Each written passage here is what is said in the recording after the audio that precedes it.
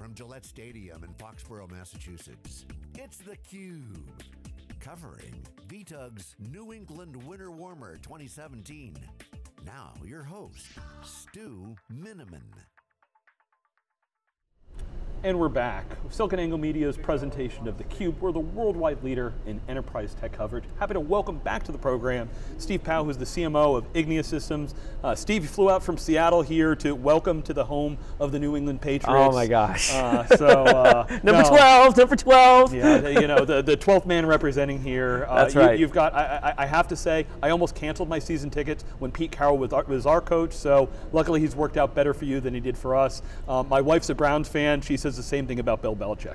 so uh, yeah, it, it's the, uh, the, the coaching fraternity is kind of like the tech world. Um, it's a small group. That's we all kind of get to know each other and move around. So uh, you know, th thanks for joining us. Steve. Yes, well thanks for having me. All right, so, so Steve, you know, we, we've been talking to you guys since you were, you were coming out of stealth. Well, why don't you give our audience kind of, you know, what, what, what's the, up, uh, the, uh, the update on Igneous? Okay, well for those of you who don't uh, know us, uh, what Igneous really uh, does is we offer uh, an on-site uh, private cloud storage service. And uh, that's our first offering. It's part of our greater mission of providing a true cloud for local data. And uh, what we basically offer today is a uh, an unstructured data store that's completely delivered as a service. We take our own equipment, we, uh, uh, we install it, we monitor it, we manage it, we even refresh it when necessary, and all the customer has to do is uh, uh, you know, really subscribe, and that's it.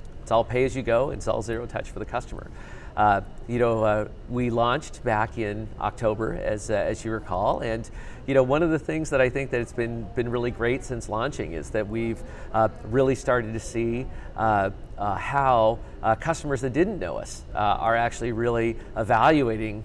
Really, I think the the convergence of two trends. You know, one is there's this data growth. Uh, you know, trend that goes on, and, and pretty much everybody we talk to is citing uh, data growth rates, you know, you know, on the order of you know doubling you know every three years, where IT budgets are growing less than five percent a year. So there's this mismatch where basically everybody's hitting this juncture that what they used to do can't work because the data is growing fast in the budget.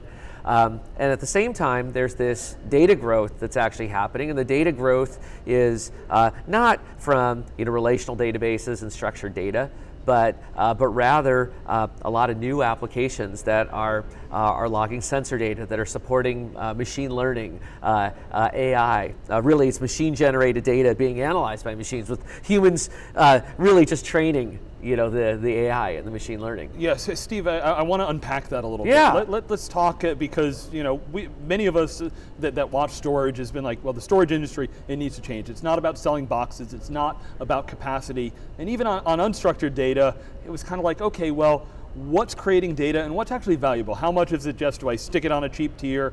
You know, what do I actually do with it? What's interesting you guys do, some of, some of those use cases, you know, you throw out, the, throw out you know, machine learning, machine data, uh, things like sensors. Uh, every time I hear that word, you know, that IoT buzzword uh, kind of pops into your head, but, you know, maybe you could talk to some of those, you know, what's bringing customers, what, you know, what's that, that driving challenge that they have uh, that, that you're helping solve that, that's different from the way storage has been done for many years? Yeah, I think the uh, that's a, that's a great question, and I think that uh, that there's just been a real transition, and I think the transition has been largely uh, created by the kinds of data that, that we want to that we want to manage and that we want to curate. And as we're seeing these sort of large unstructured data sets, I mean, it starts with the data. So, uh, you know, so as an example, uh, you take uh, equipment that used to exist in the past, like let's say in scientific computing. You used to have fl flow cytometers, which were just time series data. And then what's now happened is that associated with every flow cytometer is now a real-time video feed. When you look at the old world of microscopy, what you used to do is you used to flash freeze a sample and, and basically uh, take a picture of it. And now uh, what you can do with lattice light-sheet microscopy is you can actually uh, uh look at cells uh, in vivo, you know, while they're alive. And you can, you know, I've personally uh, gotten to watch a, a T cell uh, move uh, through a, a collagen matrix. And that's all microscopy, but generating orders of magnitude more data. And as we're looking at these very, very different data sets, we're looking at very, very different kinds of computing, and what that requires is very, very different kind of infrastructure.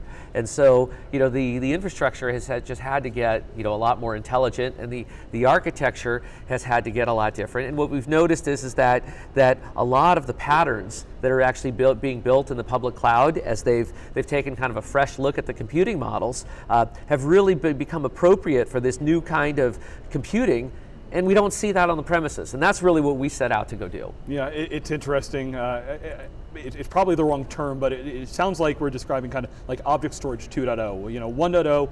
You know, I remember those healthcare use cases. Everybody, you know, when I was doing, uh, you know, radiology, when, when, you're doing certain, you know, healthcare and sciences, um, I, I, need metadata. I need to understand that. But now there's just orders of magnitude more data, uh, and you know, technologies are making, you know, it's denser. Prices have come down. So um, the idea has been around for a little bit while, but it sounds like the technology's matured uh, to allow kind of an explosion explosion. well, and and it's just a computing model. It's like one of these things where uh, uh, we're really because of the emergence of microservices. Uh, you know, one of the things that we've seen is is applications want a, a restful interaction with the storage layer, and so uh, so it turns out that that that tends to be very very perfect for a uh, a cloud-like implementation where you can uh, actually implement, you know, uh, you know, high-volume unstructured data really, really well via a RESTful API. Where in the old world of sort of POSIX uh, semantics and, and that kind of transactional model, uh, you just lost scalability. You know, you had a lot of proprietary uh, hardware. you know, with NVRAM, you had proprietary interconnects. You know, with things like InfiniBand. You know, and nowadays, you know, being able to loosely couple distributed systems is is really the, the name of the game, and that's that's ultimately what we we aim to build at Igneous, and that's that's all the technology in terms of our our commercial offering. The customer doesn't care what's behind it, but fundamentally, what you're looking for is the scalability and resilience you know that, that the cloud offers, but doing that on premises. Yeah. Uh, so Steve, we had a really interesting crowd chat uh, about a month or so ago, talking about hybrid cloud, and the, the the term, the thing I've been saying for the last probably year is as customers try to figure out, you know, what goes where in the cloud environment, you know, I've got SaaS, I've got public cloud, I've, I've got, uh, you know, my, my, my, private cloud, it's, you know, follow the data and follow the applications. Um, in the cloud, you know, things like mobile and even some video streaming, I think we understand how to do that, but why does on-premises make sense uh, for your customers, your workloads, and your solution? Yeah, absolutely. And so, you know, first a little bit on hybrid cloud. There are kind of two different definitions of hybrid cloud. One is kind of the AWS VMware scheme, where uh, what you're really looking to do is run your old stuff uh, that you were running on-prem in the public cloud, and you call that hybrid. But there's another way to look at it, which is to say, hey, let's let, take, take a look at the computing patterns that are being run in the public cloud. Uh, how do I bring that down to the premises? And the reason that, that you might want to do that is uh, is really twofold. One is the, the gravity of the data. So it might just be that the data sets are uh, too big to move back and forth you know, over very thin internet pipes. Uh, and so you want to actually uh, keep the data close to its source. The other is uh, you know, something that we've seen, which is really more of a preference, which is that, that while I think that cloud technologies are, are actually have a lot of capability for security, uh, there are a lot more hoops for folks to run through to ensure that they're compliant with their own internal policies. And where they've already set out uh, uh, a set of policies for how they run the stuff behind the firewall, sometimes it's just simpler for them to actually keep all of the data on the premises and not actually have to worry uh, about some of the issues and, and tracking and compliance issues associated with how you move the data around. Yeah, one of the things we've heard from users is when they, they use public cloud, one of the things they really like is, you know, sometimes the CFO is not fully on board, but you know, buying things as a service. So they want to understand predictability, but they want to, you know, buy it as a service, understand. Uh, how, how, does your solution fit into that uh, yeah. kind of paradigm? That's great. I think it actually, our solution fits into both trends really, really well because what we're really offering, we talked a little bit about technology, but really fundamentally we're offering a service. And so when, when Igneous uh, you know, goes into a customer, our interaction is as a service. We, uh, customers interact with uh, our service via APIs and, uh, and they get a, uh, a bill for a subscription. And so it's an as a service model. You don't buy hardware, you don't uh, install software, uh, you don't have systems to manage. Uh, at the, uh, at the same time, there is a predictability that uh, that's a that's a little bit of the downside of the public cloud because there's a there's a fee generally to access your data out of storage, and often when people don't actually understand their data access and their data movement patterns, the costs of running applications in the public cloud become quite unpredictable, and you actually don't run into that unpredictability with a solution like Igneous because uh, our data is on your local area network, and we don't charge you to access the data that's on your own network.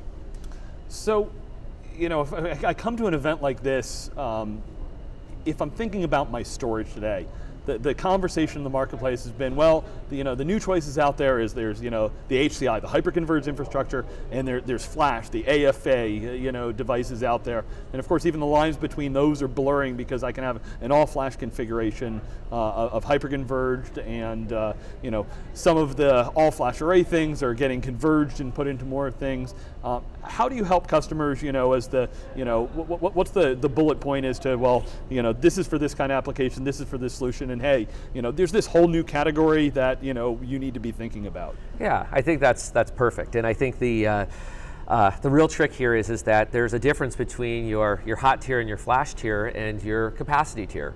And you know, fundamentally, the, the flash tier is really good when time to first byte is very important. So you know, that might be for your relational database applications and things of that sort where there tends to be a lot of, of, of searching through an index. And so you've got uh, a lot of, of, of low latency requirements. And then on the other hand, what you have is a, a, capacity tier. They may be your, your video surveillance, they may be your large unstructured documents, they may be your sensor data. And uh, in those contexts, uh, you don't necessarily need the time to fir first byte. What you really need is uh, capacity throughput. Um, and so the overhead of setting up, for example, a RESTful connection uh, is not significant when compared to the amount of data that actually needs to go through the system. And that's actually where you know, RESTful semantics uh, uh, actually gets superior to you know, POSIX semantics when you have you know, very, very large you know, unstructured data sets. Um, hyperconverged is actually in a, a, little bit of a different world, and I think that while hyperconverged has worked out, you know, pretty well, I think for virtualization workloads, you know, we've really found that that when it comes to these very, very large unstructured data sets, uh, you know, hyperconverged isn't necessarily always the way to go. You tend to find uh, uh, a utilization issue between your, your compute and your storage layers, um, where where you have to you have to actually think about you know how you're how you're balancing all this stuff. And so, you know, really the, the world that we've really seen emerge as as uh, new applications come forward uh, is there's really a trend to write microservices that are stateless and to have them talk to a, a, stateful layer. That's why in the public cloud there's a pattern of having things like Elastic Container Services, you know, talking to an S3, and you know we definitely see on premises that same type of thing that's going to emerge. You know, there's going to be some time to get there. You know, admittedly, you know, as I was, uh, you know, mentioning kind of at the beginning, we've seen this really interesting uh, set of, of interest patterns. One is from the folks who are developing uh, these new applications that are utilizing unstructured data. Uh, there's a lot of, of interest we're getting right now from IT folks that are just getting started with object storage to do uh, to do secondary workflows, to do backups, to do archives, and you know it's it's been interesting that we've been getting a lot of interest in our in our service as a, a new way to approach you know some of these data protection workflows. All right, so Steve, last question I've got for you. Came out of stealth, uh, to, you know, Q4 last year. Um, what do we look for in 2017 from Igneous? Yeah, so I think that uh, you'll see it on, on both of those fronts. I think that one thing that's going to be seen uh, in 2017 is a lot more uh, uh, development on our side around building up uh, the uh, a tool chain for folks to use uh, for a data protection tier. And so, you know, we've got a, uh, a new offering coming online. we're calling it Igneous Insights, which provides information about your what's currently on your primary storage tiers. we've got a whole set of replication services. You know, they're coming up to do backup, archive, things like replication to the cloud.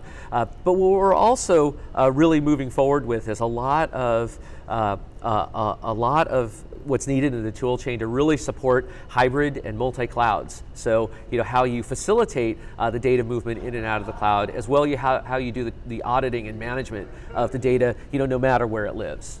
All right, well, Steve Pao, really appreciate you catching up. And if you want to find out more about this category, check out cube365.net slash true private cloud. That's C-U-B-E number 365.net slash true private cloud, which has resources from the whole industry, including from Igneous, including from Wikibon and theCUBE, as to what's happening kind of this true private cloud, hybrid cloud environment. We'll be back with lots more coverage here. Thanks for watching theCUBE.